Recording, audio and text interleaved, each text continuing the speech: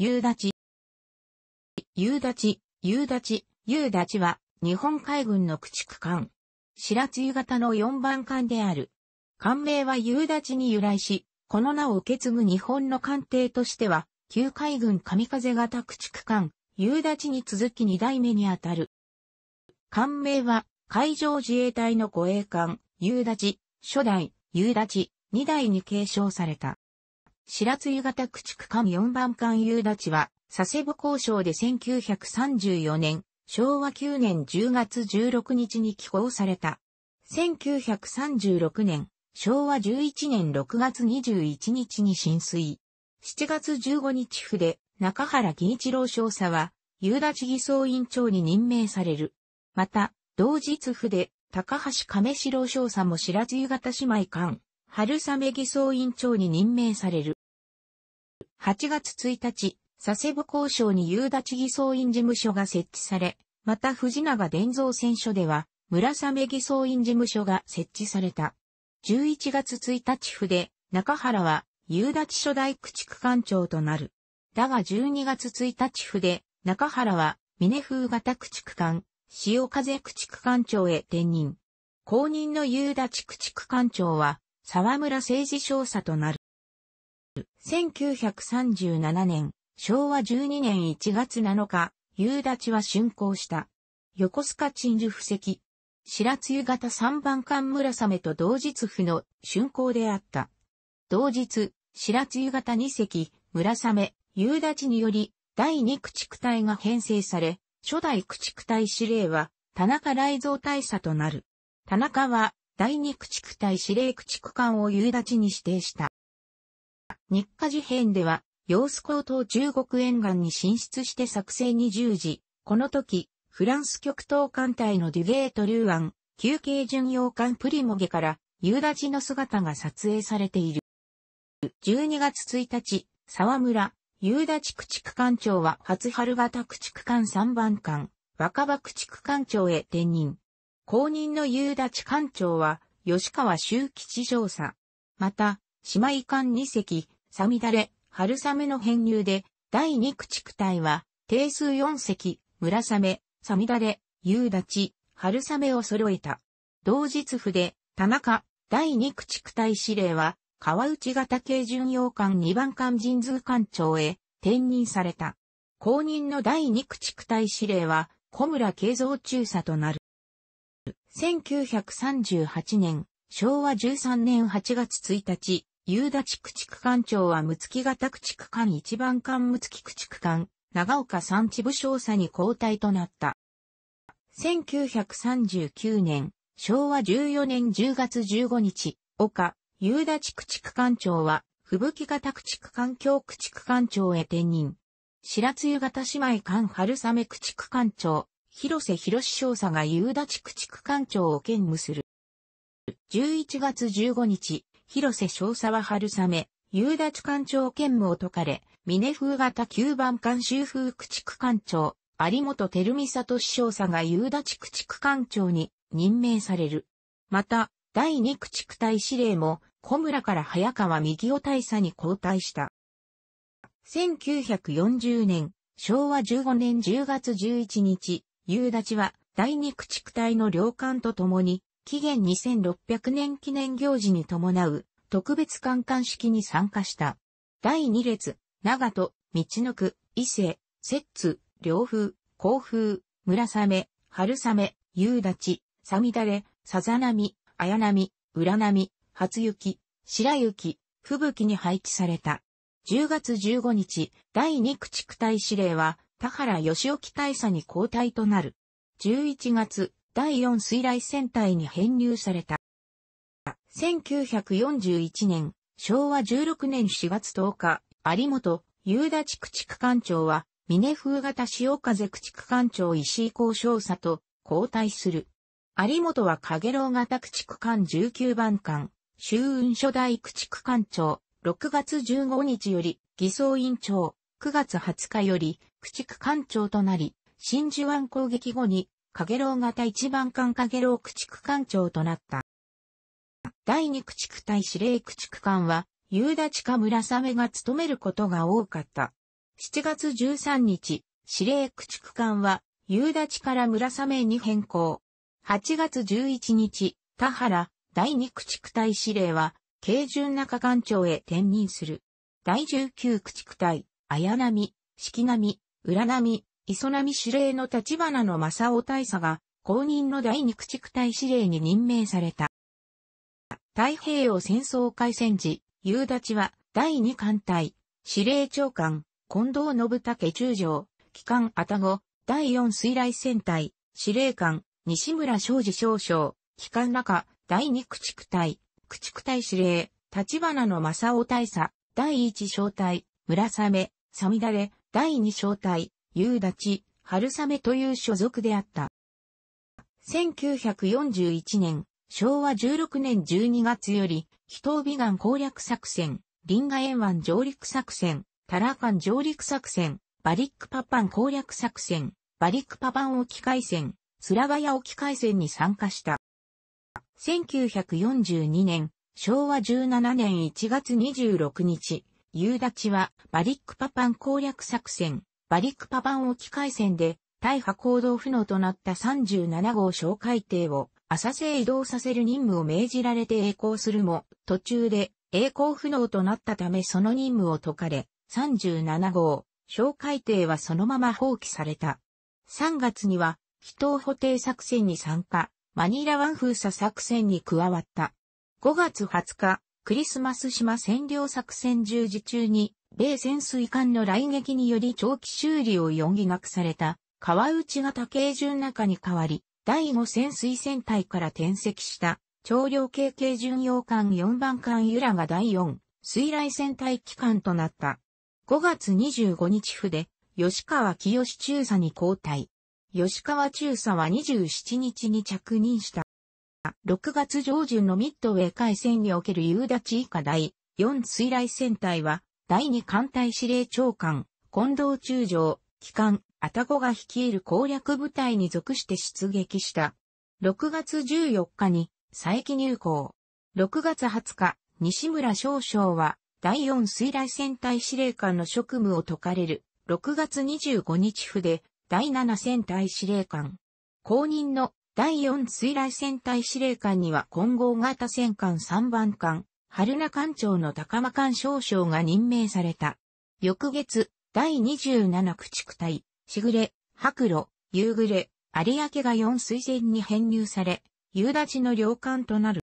7月中旬、日本海軍は、インド洋方面通商破壊作戦、B 作戦を発動、同作戦参加戦力は、第7戦隊、司令官、西村昌司少将、巡洋艦熊野、鈴屋、第三水雷戦隊、軽巡、川内、第11駆逐隊、初雪、白雪、吹雪、村雲、第19駆逐隊、浦波、四季波、磯波、綾波、第20駆逐隊、天霧、夕霧、朝霧、第2駆逐隊、村雨、さみだれ、夕立、春雨、第15駆逐隊、黒潮、親潮、早潮によって構成され、マレー半島西岸メルギーに集結する。7月17日、第2駆逐隊は、桂島白地を出撃して南方へ向かい、25日、シンガポールに到着。28日、夕立は日本岸を護衛して、湘南白地を出発、31日メルギーに到着した。同地で第16戦隊、司令官、原武史三郎少将、名取、絹、伊鈴、8月1日よりを含め、第一、南遣い艦隊、司令長官大川内伝七中将、機関カシーの指揮下に入った。だが8月7日、アメリカ軍がウォッチターン作戦を発動しガダルカナル島及びフロリダ諸島に来週、ガダルカナル島の戦いが始まったことで、B 作戦は中止。各隊、各艦艇はソロモン諸島への移動を開始した。夕立は特設水上規模艦山用丸のトラック白地、開港護衛任務を与えられたため、第7戦隊、第2駆逐隊、第15駆逐隊領艦とは別行動をとった。8月20日、第7戦隊、熊野、鈴屋は第3艦隊との合同を命じられて、第2駆逐隊や第15駆逐隊を分離。同日をもって第2駆逐隊、第15駆逐隊は第7戦隊の指揮下を離れた。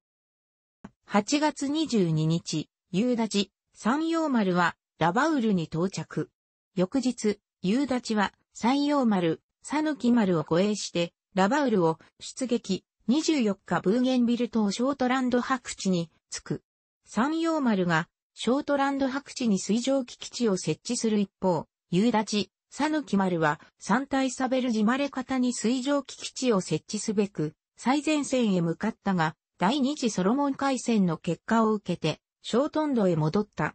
夕立、サヌキ丸は26日ショートランド白地を出発、27日夜ラバウルに帰島した。夕立、サヌキ丸、山陽丸は南東方面部隊の直接指揮下を離れ、外南洋部隊、第8艦隊の指揮下に入った。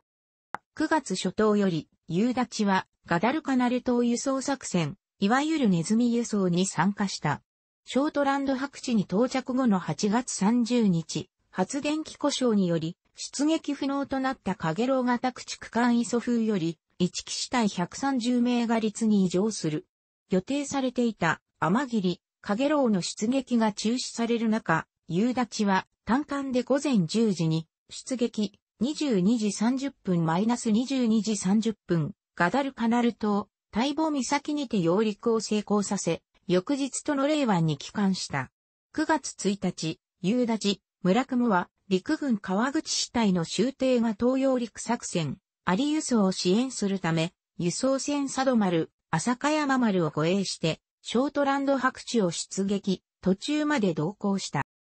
9月4日午前3時30分以降、夕立、初雪、村雲隊、四季並、浦波、有明隊、川内、第三水雷戦隊機関、海風、甲風、両風隊は順次、ショートランド白地を出撃、同野が島待望岬に、青橋隊と一騎士隊を揚陸させた。揚陸終了後、吉川清夕立駆逐艦長式の元駆逐艦3隻、夕立、初雪、村雲は、ルンガ白地に突入して、ヘンダーソン飛行場の砲撃に成功。続いて、小型艦艇2隻を撃沈した夕立側は、不設巡洋艦と駆逐艦と判断。2隻は旧式駆逐艦を改造したマンディ級高速輸送艦グレゴリー・トリトルであった。9月5日、3隻はショートランド白地に帰島。なお、消極的な行動により、連合艦隊や第8艦隊から批判されていた第24駆逐隊、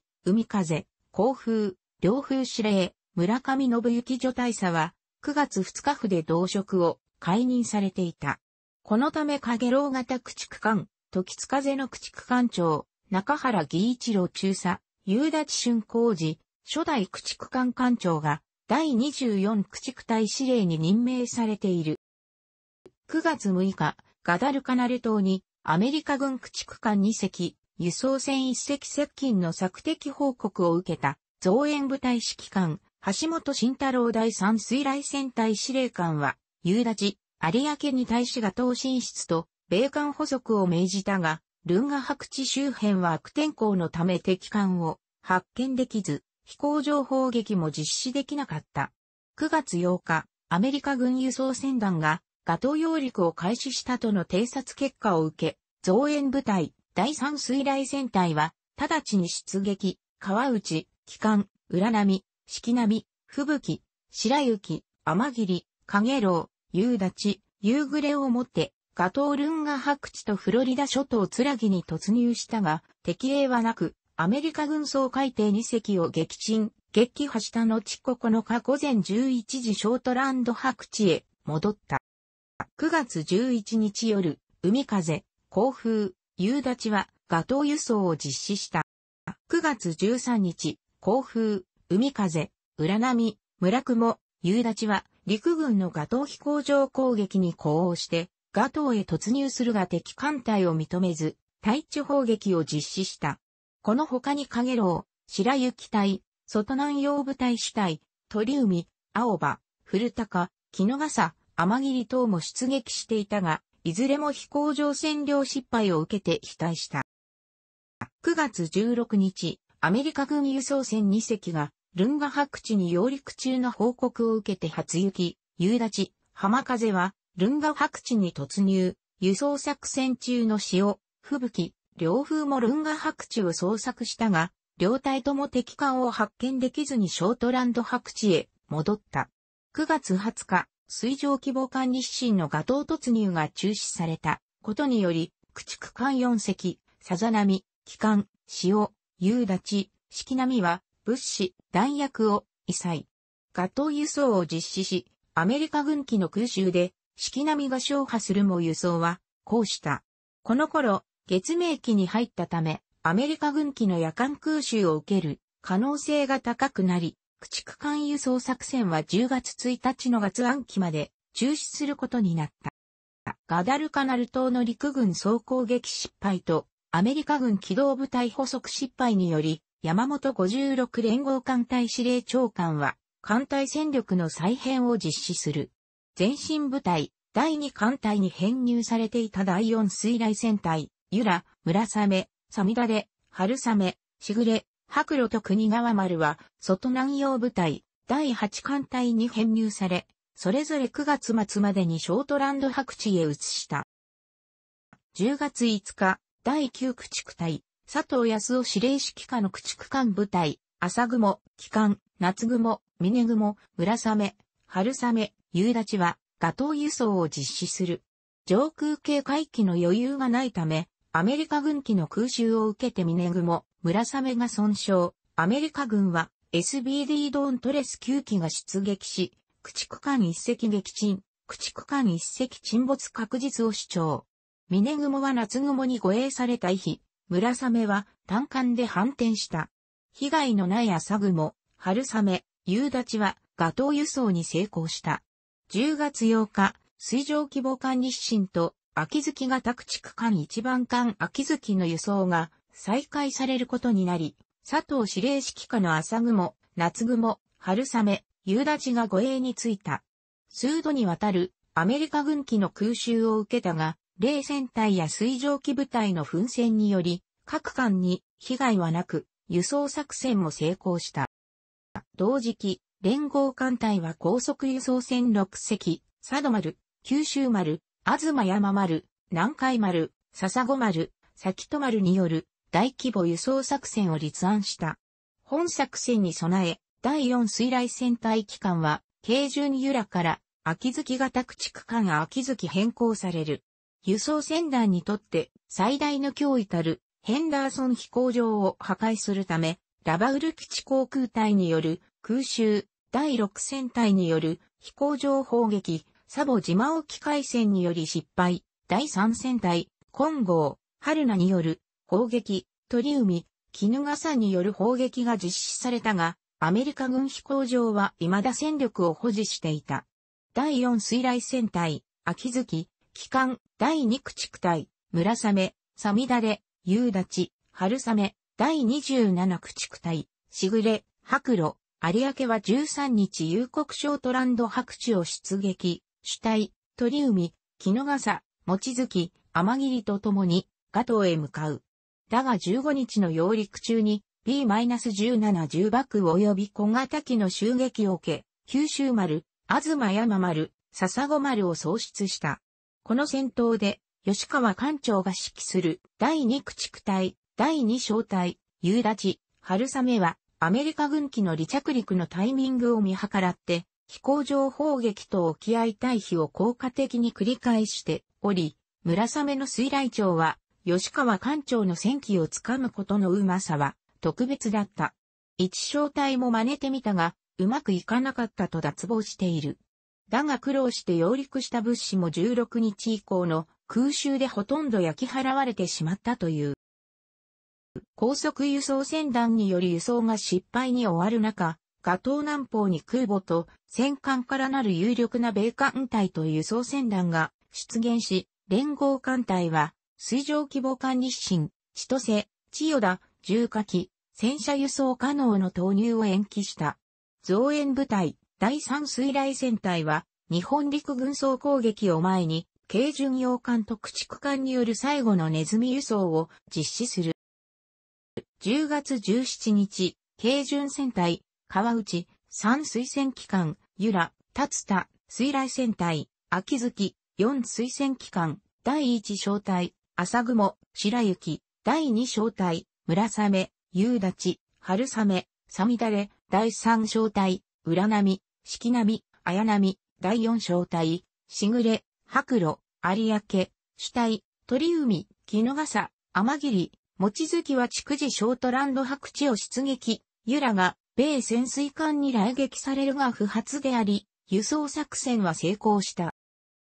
10月24日、軽巡由良、第4水雷戦隊機関秋月、第2駆逐隊、第1小隊、村雨、サミダレ、第2小隊、夕立、春雨は、第2攻撃隊として、ショートランド白地を出撃、ガダルカナル島のアメリカ軍ヘンダーソン飛行場に、対する日本陸軍総攻撃に呼応して、ガダルカナル島へ向かった。先行して、ガトールンが白地に突入した突撃隊、指揮官、山田祐介大佐、現第六駆逐大使、暁、雷、白露に続いて、ガトーへ接近したところ、第二攻撃隊は、アメリカ軍機の波状攻撃を受けた。ユラ、秋月、サミダレが直撃弾及び資金弾を受ける。サミダレは損害警備だったが秋月は速力が半減し、ユラは複数の爆弾命中により激しく炎上、総員退去命令が出された。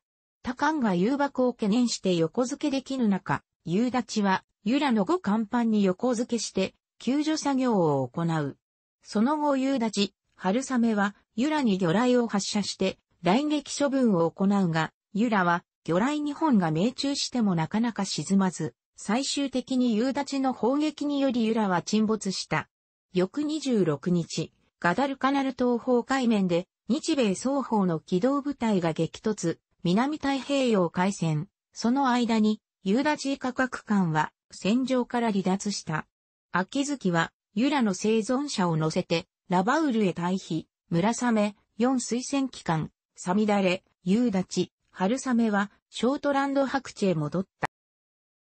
11月上旬、橋本慎太郎さん推薦司令官指揮下の外南洋部隊増援部隊は全力でガトー輸送作戦を実施する。11月1日、三推薦司令官は、従順絹笠に、正気を掲げた。ガトーを、視察予定の陸軍部作戦課長、以下4名は夕立に上官した。同日夜、構造園隊、朝雲、四推薦機関、慶順、天竜、駆逐艦、村雨、春雨、夕立、しぐれ、白露、有明、夕暮れ、暁、雷、第一攻撃隊、巡洋艦、絹笠、川内、駆逐艦、天霧、初雪、乙造園隊、満潮、浦波、四季波、綾波、望月は順次、ショートランド白地を出撃する。白雪が艦艇を直接して、多少の浸水被害を受けたほか、揚陸地点の悪天候により艦載艇を多数、喪失、物資の一部を揚陸できなかった。11月4日、増援部隊指揮官、三推薦司令官は、戦力を再編。正気を、木の笠から駆逐艦裏波に移し、天竜を加えた、乙造園隊を直卒する。同日深夜、構造園隊、朝雲、機関、村雨、春雨、夕立、しぐれ、白露、有明、夕暮れ、朝潮、満潮、乙造園隊、裏波、三推薦司令官機関、四季波、綾波、白雪、望月、天竜は、ショートランド白地を出撃、5日夜揚陸に成功し、各艦ともに損害はなかった。ショートランド白地祈祷後、三推薦司令官は川内に移動し、外南洋部隊増援部隊指揮官の職務を第二水雷戦隊司令官田中雷蔵少将に引き継いだ。6日、夕刻、川内以下第三水雷戦隊各艦はトラック白地へ向かった。11月7日、高間少将は機関を、駆逐艦朝雲から軽巡天竜へ変更される。第9駆逐隊司令、機関朝雲指揮下の津造園隊、警戒隊、朝雲、望月、輸送隊、村雨、夕立、しぐれ、白露、夕暮れ、朝潮、満潮は同日深夜ショートランド白地を出撃。8日夜半に揚陸成功。被害は望月に、アメリカ軍魚雷艇が発射した魚雷1本が命中、不発のみであった。9日午前5時50分、夕立は、米潜水艦の来撃を回避し、白露と共同して、潜水艦撃沈を報告したが、アメリカ軍に対応する記録はなかった。各艦は、無事にショートランド白地帰着、同地にて、夕立は、サミダレから魚雷と爆雷の補給を受けた。11月9日、前進部隊指揮官、第2艦隊長官は、第4水雷戦隊に大資源隊への復帰と、飛行情報撃を行う第11戦隊の警戒隊として、同戦隊の指揮下に入るよう命じた。4推薦機関は、天竜から朝雲に戻った。11月11日、第4水雷戦隊、司令官、高間艦少将、機関朝雲指揮下の夕立以下、第2駆逐隊は、ショートランド白地を出撃、ガダルカナル島、ヘンダーソン飛行場砲撃を任務とする挺身艦隊、司令官、安倍武少将、県第11戦隊司令官と合流し、ガダルカナル島へ向かった。挺身艦隊の戦力と任務は以下の通り。射撃計画そのものは10月13日の第3戦隊、金剛、春菜によるヘンダーソン基地艦砲射撃とほぼ同一だった。挺身艦隊指揮官、安倍後期中将、第11戦隊司令官。夕立以下第4水雷戦隊に与えられた任務は 4SD、朝雲、2DG は 11S の前ほど 10km ないし 15km を先行、サボ島より、タサファロング沖に、木に3回、つらぎ沖に向け全路相当、11、S 射撃終了後後方 10km に、占いクライスという内容であった。前進部隊と挺身攻撃隊はトラックを出撃して、ガトーへ向けなんか、第4水雷戦隊は、ショートランド白地を出撃後、12日13時30分に、挺身攻撃隊に合流した。同日夕刻、激しいスコールに遭遇した挺身艦隊は、幾度も反転、両艦の位置がわからないほど混乱する。挺身艦隊司令部の判断について、海戦に参加した駆逐艦電は戦闘情報で、昼間飛行機の偵察に、三井参謀の報告により、合島方面に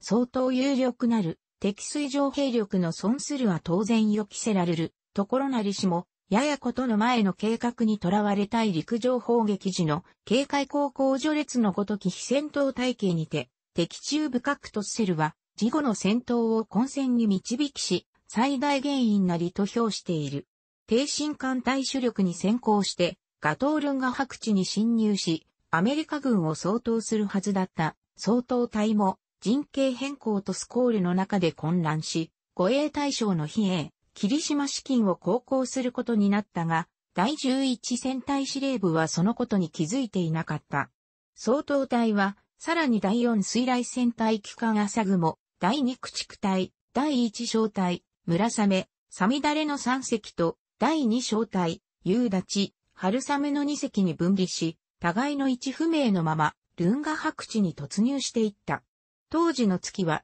すでに没し、天候晴れ、東の風4.5メートルだったという。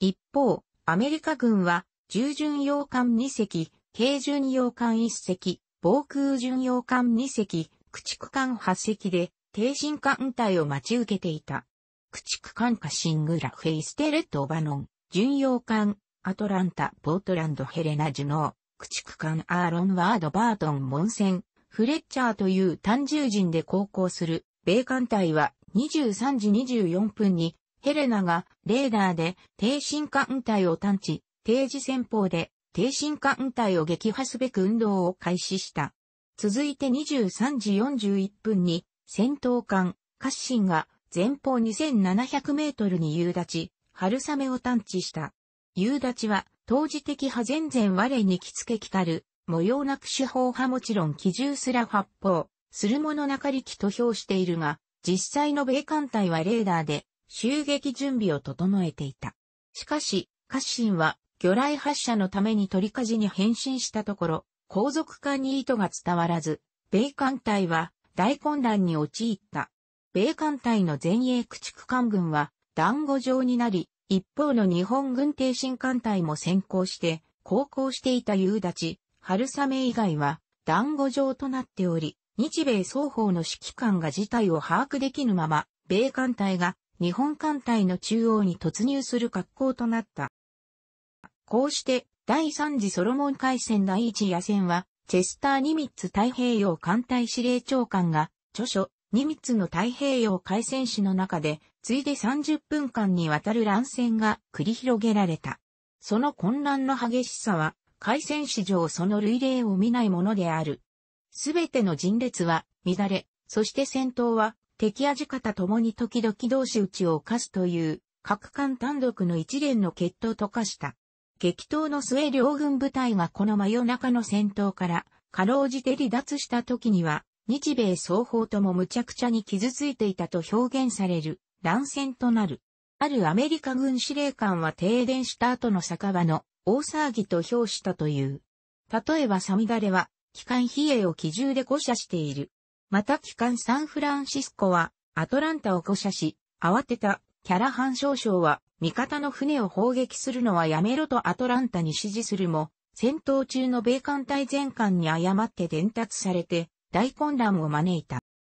混乱する状況下で、夕立は敵発見を報告する。続いて、比叡の照射攻撃に、米艦隊の注意が集まる間に距離を詰め、魚雷発射体制に入った。魚雷発射後、夕立は右に転打したため、左に転打した春雨を見失い、単艦で米艦隊へ突入していった。夕立は8月以降ネズミ輸送のため幾度もガダルカナル島ルンガ白地に侵入しており、同地での行動に自信があったとみられる。一方春雨は混戦の中で夕立を見失い、敵艦と交戦しつつ北上した。米艦隊の中央を突破して敵を混乱に陥れ大きな戦果を挙げた夕立だったが、0時26分前後に、右前方から単焦灯で照射され、続いて、右舷と左舷の両方から砲撃を受け被弾する。戦闘商法、戦士総書や、夕立乗組員の階層では、日本軍艦艇、吉川艦長は、軽順ながらからの誤射と推定の可能性を指摘している。これに対して、アメリカ軍側の資料では、米艦が夕立を撃破したとす、口述、砲撃を受けた夕立は、味方識別を行ったが、射撃はやまず、この敵艦に砲線を起としたところに直撃弾複数を受け大破、吉川艦長以下幹部将校も負傷。機関室に損傷を受け、操舵装置も故障。サボ島165度9海里の地点で航行不能となった。戦艦霧島や第10戦隊と共に、飛隊中の4水戦機関朝雲は夕立の救援に向かい、炎上する夕立を発見する。朝雲、四推薦司令官は、夕立の復旧は困難と判断し、艦を放棄して、乗組員は、ガダルカナル島、エスペランス岬まで距離 5km へ向かうよう、命じると、カッターボート2隻を残して離れていった。だが、吉川清駆逐艦長以下乗組員は夕立を救おうと努力した。朝雲のカッターボートを用いて、原則の箱を修理したり、骨布やハンモックをマストや煙突に張り巡らしての搬送を試みた。11月13日1時15分、第二駆逐隊の姉妹艦サミダレは、夕立の救援を命じられて、捜索を開始、1時55分前後に夕立を発見して接近していった。サミダレから見た夕立は艦首を喪失し、火災が完備に広がりつつあったという。2時26分、退去を決定。横付けして、夕立の乗組員を異常させたサミダレは、夕立を来撃処分のため2時44分に魚雷2本を発、だが魚雷は艦艇を通過し、2時53分に再度、魚雷1本を発射すると砲撃処分を開始する。戦闘商法の報告とは裏腹に魚雷は命中していなかったが、夕立は傾斜を増した。この後サミダレは、米中巡洋艦、ポートランドに捕捉された上に、日の出とともに、アメリカ軍機の襲撃も予想されたため、夕立の沈没を確認しないまま戦域を離脱した。サミダレ駆逐艦長に、誠にすまないが、もう一度引き返して、魚雷を撃ってもらえないかと頼む吉川艦長の姿も目撃された。結局、放棄された夕立は、従順洋艦ポートランドの砲撃により、六星斜面に起きた艦後部の爆発によって、アイアンボトムサウンド、鉄底海峡に沈没した。日本海軍も敵味方不明駆逐艦4ある中1隻、はみ方駆逐艦に、して敵前行順に、より撃沈せりと、夕立の沈没を確認している。艦長巡視艦以上13名、下士艦兵192名がサミダレに異常して、生還された。午後3時、ショートランド白地に到着し、白鷹に夕立負傷者を異常させる。吉川艦長以下現在の夕立乗組員は、サミダレに便乗したまま、第3次ソロモン海戦、第2夜戦に参加、米新衛戦艦ワシントン、サウスダコタと交戦することになった。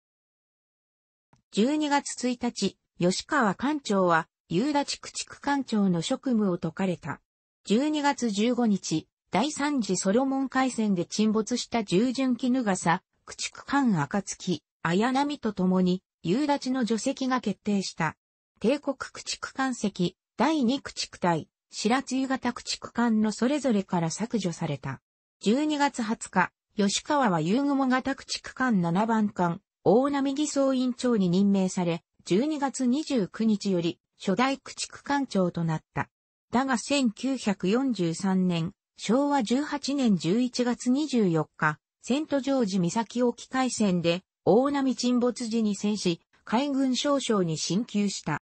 11月12から13日第3次ソロモン海戦、第1夜戦における、挺身艦隊の戦果報告は、従順洋艦5隻撃沈、内3隻合沈、従順2隻大破、防空巡洋艦2隻撃沈、内1隻合沈、駆逐艦3隻大破、同級3隻中破、魚雷艇1隻大破であった。日本側人員の損害は、戦死297名、行方不明255名と報告されている。実際の米艦隊の損害は、軽巡洋艦アトランタ、ジュノーとカッシング、ラフェイ、バートン、モンセンの4隻の駆逐艦が沈没、重巡洋艦サンフランシスコ、ポートランド、軽巡洋艦ヘレナとステレット、オバノン、アーロンワードの3隻の駆逐艦が損害を受けた。対する日本艦隊は、戦艦比叡と駆逐艦2隻、夕立、暁が沈没、巡洋艦長領と駆逐艦複数隻、天津風、雪風、村雨、しぐれ、白露、夕暮、雷が大小の被害を受けるという結果であった。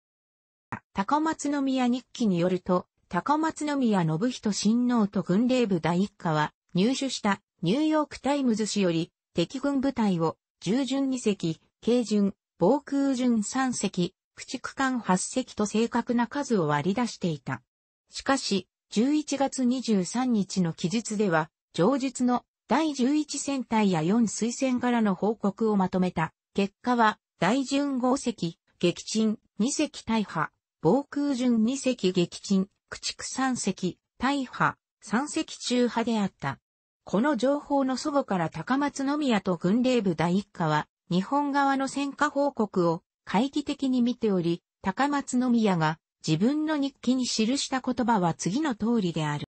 吉川は12月8日には軍令部を訪問し、高松宮信人親王たちに第三次ソロモン海戦における夕立の行動を報告した。高松宮の日記には、夕立が優先した様子を了解した旨は、記されているが、先月疑問を呈した戦果については何も記していない。一方、日本海軍と交戦したアメリカ海軍側も、夕立との交戦時の状況について様々な記述や証言を残している。イヴァン・ミュージカントによれば、夕立のポートランド攻撃後の戦闘経過は次の折であるとしている。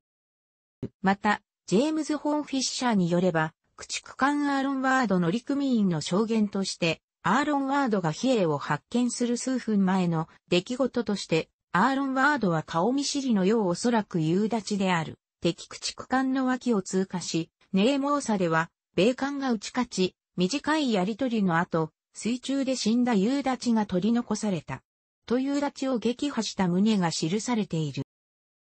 1992年、平成4年夏、ドイツの戦艦、ビスマルクや客船タイタニックの海底探査と発見で知られる海洋考古学者によりガダルカナル島、アイアンボトムサウンドの海底探査が行われた。サボ島付近で発見された夕立は海底に対し水平に着底しており、眼光部はひどく破損していた。艦首先端はちぎれかけて横倒しとなっており、環境はやや左に傾き天外を失って、剥き出しになっているが、電線管などの諸設備は残っている。